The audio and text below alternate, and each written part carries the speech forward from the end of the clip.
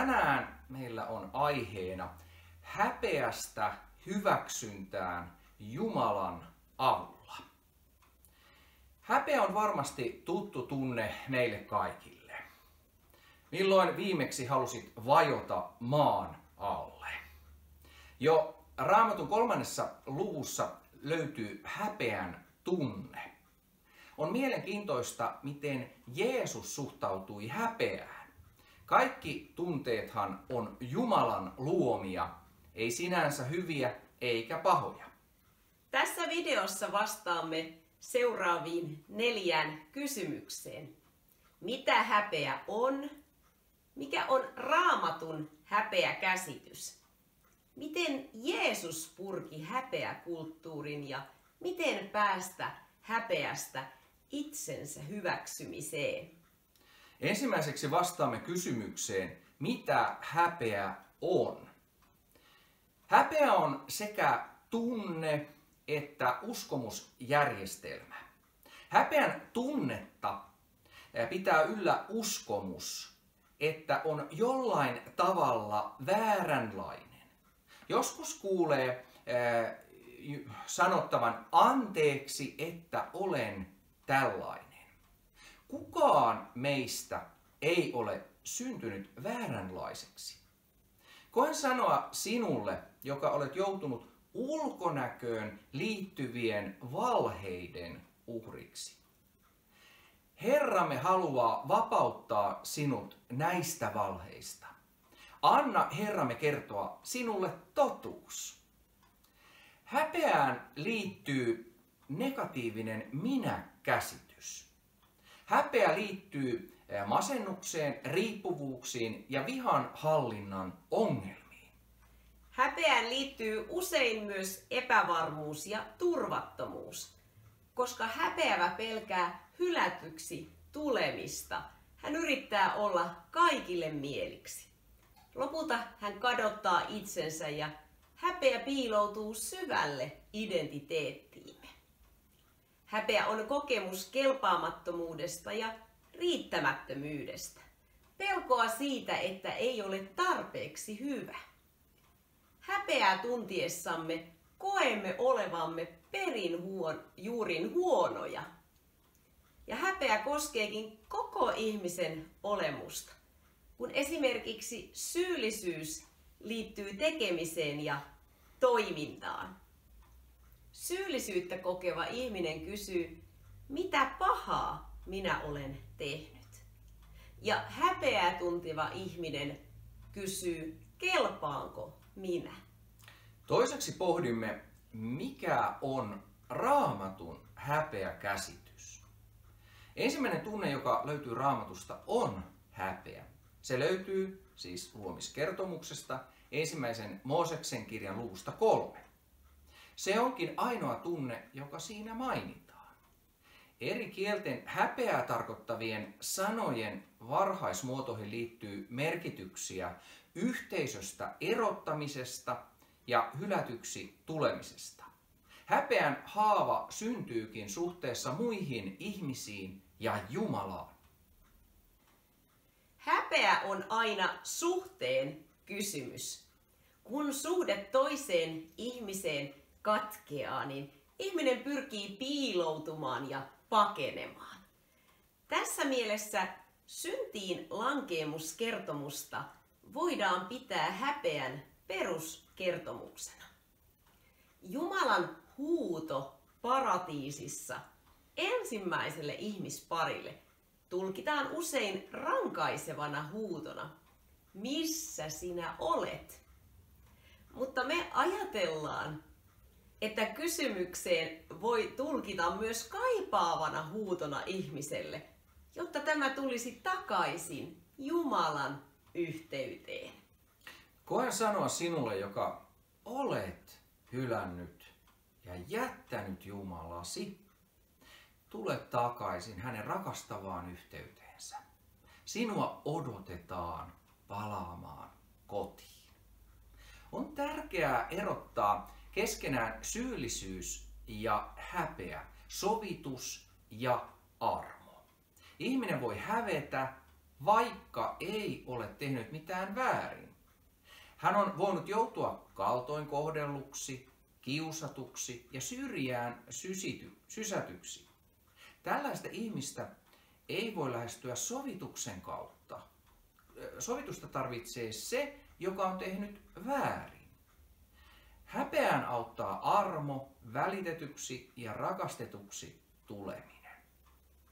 Hebrealaiskirjassa luvussa 13 jakeessa 5 Jumala sanoi seuraavasti hebrealaisille, ja tänään uskon, että hän haluaa sanoa nämä sanat, samat sanat myös sinulle. En minä sinua hylkää enkä jätä. Jesajan kirjan 49. luvussa jakeissa 14-16 sanotaan, mutta Sion sanoo, Herra on minut hylännyt, Herra on minut unohtanut. Unohtaako nainen rintalapsensa, niin ettei hän armahda kohtunsa poikaa? Ja vaikka hän unohtaisikin, minä en sinua unohda. Katso, kämmeniini olen sinut piirtänyt. Sinun muurisi ovat aina minun edessäni. Palataan vielä syntiin lankeemuskertomukseen raamatussa. Yksi keskustelu saatanan kanssa muutti koko keskinäisen vuoropuhelumme historian. Häpeän hämärä verhosi vapauttavan alastomuuden olotilan. Pelko kietoi avoimuuden haaviinsa. Pelko onkin häpeän kaksoissisar.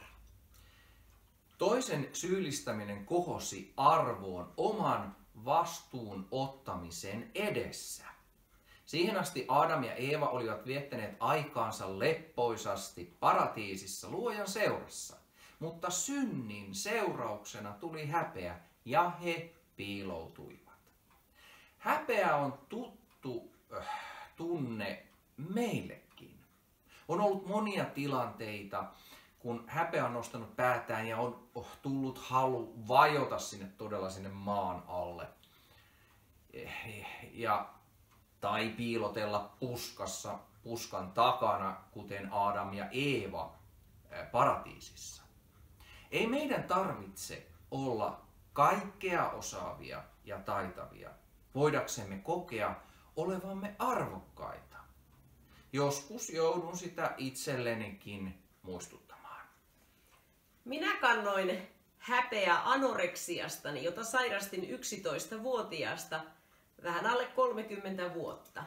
Häpeäni oli niin suuri, että en ollut pystynyt lapsillenikaan sitä kertomaan. Jossain vaiheessa pyysin Jumalalta voimaa tehdä sen, sillä en halunnut, että meidän perheessä on salaisuuksia. Tiesin, että piilottaminen ei tuo valoon, vaan totuus. Niinpä rukoilin, että lapset kysyisivät asiaa minulta, niin se helpottaisi minun kertomistani. Meidän kolme lasta olivat silloin kymmenen ikävuoden molemmin puolin. Rukouksestani ei mennyt montaakaan päivää, kun olimme saunassa ja tytöt ottivat asian puheeksi, että äiti, onko sulla anoreksia? Ja mä vastasin siinä heille myöntävästi. Ja ei se heille tuntunut olevan isokaan asia. Ja mä huomasin, että häpeä hellitti pikkuhiljaa otettaan ja monien vaiheiden kautta saan tänään olla vapaa anoreksiasta ja sen tuottamasta häpeästä. Kolmanneksi pohdimme, miten Jeesus purki häpeä kulttuuriin. Me on viime aikoina saatu tutustua vainottujen kristittyjen parissa tehtävään työhön marttyyrien äänijärjestön kautta. Olemme havainneet, että häpeä ja nöyryttäminen liittyvät usein vainottujen kristittyjen kertomuksiin. Häpeä voi jalostua myös suureksi kunniaksi. Jeesuksen kuolema oli korostetusti häpeän sävyttämä. Hän koki monenlaista hylkäämistä ja nöyryyttämistä. Opetuslapset kielsivät Jeesuksen ja pakenivat. Matteuksen evankeliumin luvussa 27 kerrotaan, kuinka sotilaat pukivat hänen, äh, hänet kuninkaan viittaan ja orjan tappura kruunuun. Hänen päälleen syljettiin, väkijoukot pilkkasivat häntä. Ristiin naulitseminen itsessään on jo häpeä rangaistus. Jeesus murtui tämän kärsimyksensä edessä. Hän kuoli uskoen, että myös Jumala oli hylännyt hänet. Jeesuksen huuto ristillä kuoleman hetkellä voidaan tulkita torjutuksia hylätyksi tulemisen syvimpänä huutona. Ja se löytyy Matteuksen evankeliumin luvusta 27 jakeesta 46. Jumalani, Jumalani, miksi minut hylkäsit? Tässä on meille oman kipumme ja häpeämme kanssa kamppaileville toivon lähde. Maailman historian merkittävin henkilö joutui kokemaan häpeää, olemaan hyljeksitty ja kuolemaan häpeässä. Ja koinkin sanoa sinulle, jolla on elämän tilanne, että sinua on häväisty uskosi tähden. Jaksa vielä hetki, pian tämä elämän vaihe on lopussa. Ihmiseksi tultuaan myös Jeesus alistui häpeän kokemukselle. Hän syntyi juutalaiseen uskonnolliseen kulttuuriin erittäin sopimattomalla tavalla. Äiti Maria oli raskaana ennen avioliittoa. Jeesukselle myös naurettiin, häntä vihattiin ja pilkattiin. Häntä haluttiin kyseenalaistaa ja häpäistä kaikin tavoin.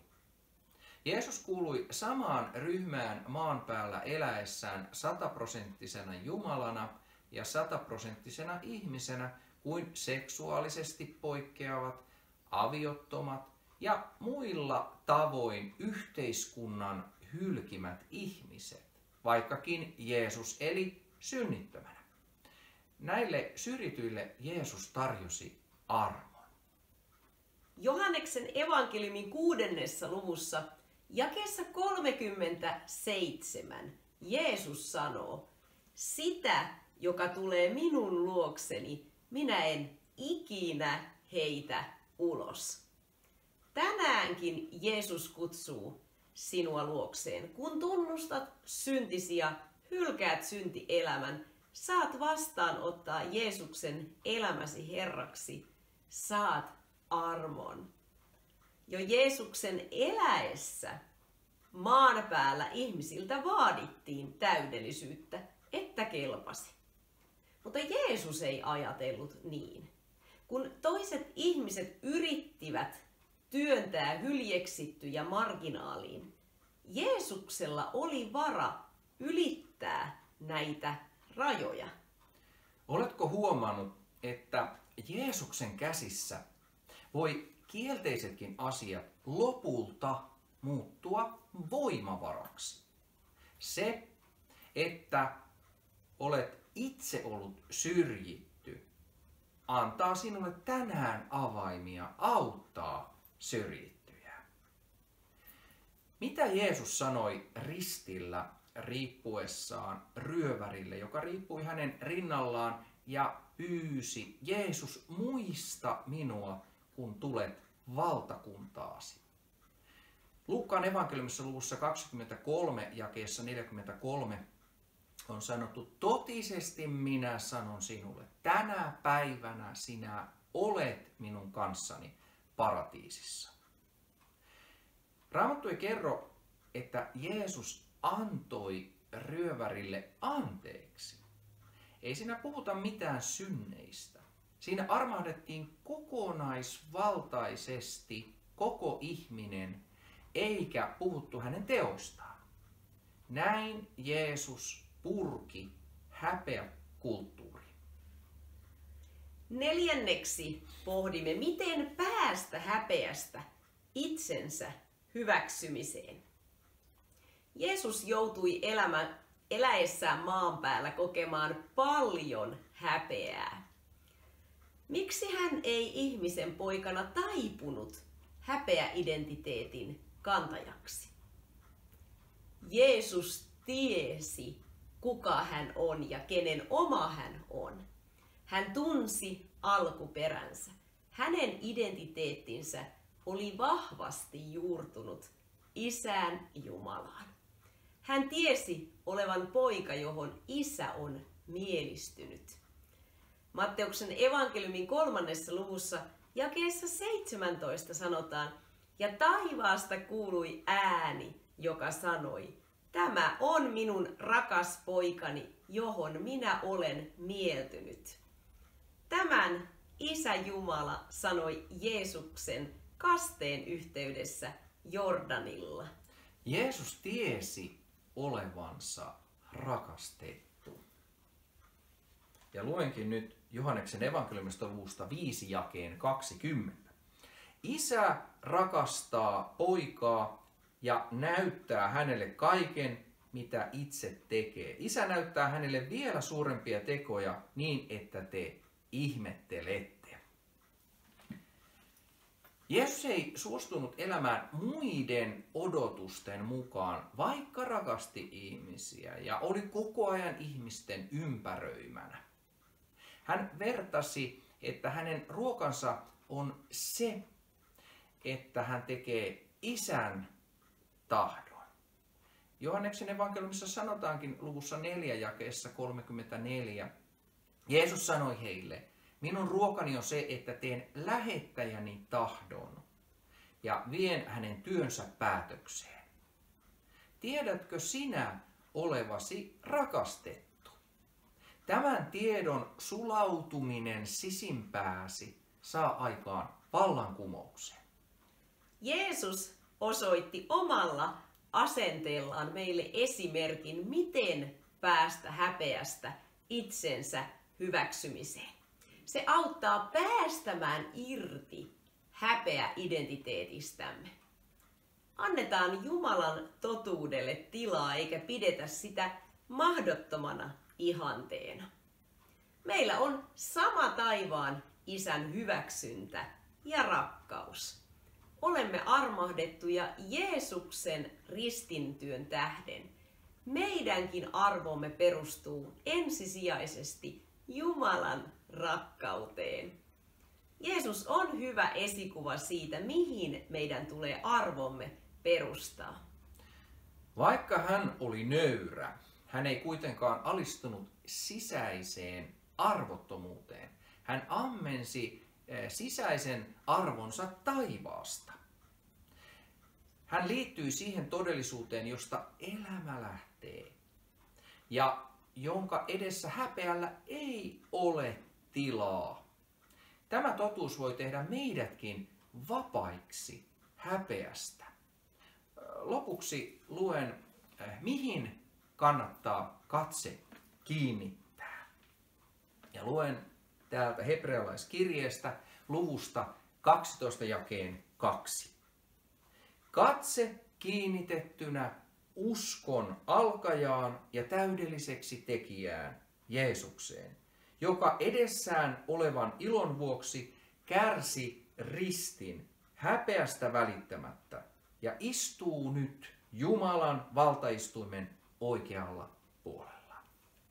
Rukoillaan. Rakas taivaallinen Isä, kiitos, että sinä haluat auttaa meitä jokaista myös häpeän tunteidemme keskellä. Herra, kiitos, että teet meidät ehjäksi, teet meitä kokonaisvaltaisesti terveemmäksi. Herra, auta meitä, ettei tuo häpeä pääse lytistämään meitä ja, ja, ja ahdistamaan meidän elämää, rusentamaan meidän elämää, viemään siltä voiman ja, ja, ja tulevaisuuden ja toivon. Auta meitä, Herra, kaikessa. Kiitos, että autat todella, että näissä häpeään liittyvissä kysymyksissä saisimme sinulta avun ja, ja voisimme elää täynnä iloa, täynnä voimaa, täynnä terveyttä. Herra, auta meitä. emme itse tässä asiassa pääse voitolle ja, ja, ja avun piiriin ilman sinua. Aamen. Siunausta sinun elämääsi. Hei hei! Hei hei!